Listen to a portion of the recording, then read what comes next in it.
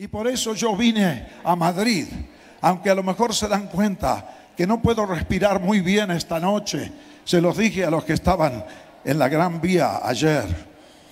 Eh, me descubrieron hace un año y medio que tengo un cáncer, un temor, un tumor canceroso en el pulmón izquierdo.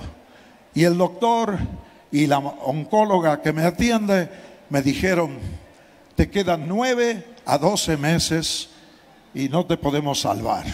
Es un cáncer incurable, la cirugía no va a producir los resultados, te vamos a dar quimioterapia, la quimioterapia te va a sacudir mucho, vamos a intentar todo lo posible que tu vida sea cómoda y me dijeron para la Navidad del año 18 te vas a ir a la eternidad. No son cristianos, mis médicos son buena gente y espero ganarlos para Cristo, para que estén conmigo en el cielo, porque los quiero mucho, me han tratado muy bien.